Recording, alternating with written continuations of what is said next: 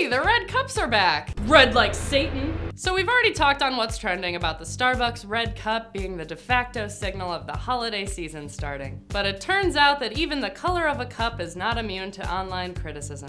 Many Christians and conservative groups are upset that the cups are only red, as opposed to the much more decorated versions in previous years. An article by Raheem Kassam, the editor of Breitbart London, bears the headline, War on Christmas, Starbucks red cups are emblematic of the Christian culture cleansing of the West. So not extreme at all.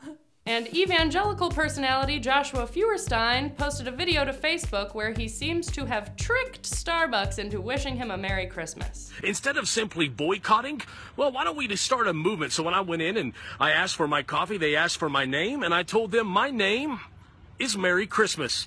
So guess what? Starbucks, I tricked you into putting Merry Christmas on your cup. Now for some clarification, it's not like previous cups have been adorned with Jesus and crosses or Christian symbolism in any way. Previous red cups have looked like this, or this. So apparently, images of snowflakes and deer equals Jesus. Also, this dude's hat is pure red, just like the cup. So why aren't you promoting Jesus on your hat? Probably because he hates Jesus and the Second Amendment. Yeah, there's a war because your hat doesn't have Jesus on it.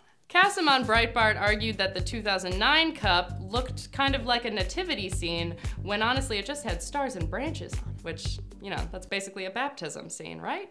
One more thing, Judy, a commenter on Clifford Stummy's blog said, Hi, I am a current barista working at Starbucks. I can confirm for you that we have not been given any directives of any kind with regard to saying Merry Christmas or not.